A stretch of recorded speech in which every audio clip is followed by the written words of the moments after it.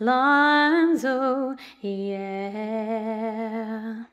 One happy birthday dot com.